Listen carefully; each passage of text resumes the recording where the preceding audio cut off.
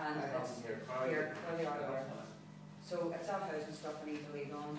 And then, if I was you, or whoever's going to lead on say, I'm glad to see, not only is the housing executive and the housing associations here, but the insurers, because what's going to happen, and they will come back to you with the financial assistance act, and just say, well, that's good, we're having this meeting today, because all that stuff needs to be sorted out.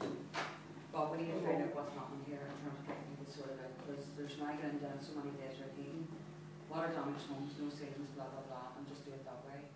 And walk away with the actions, you know, because they'll give you a whole diatribe of what they've done. What we need to get from the- this meeting is what they're going to do from here on in, and how we get that information out to people.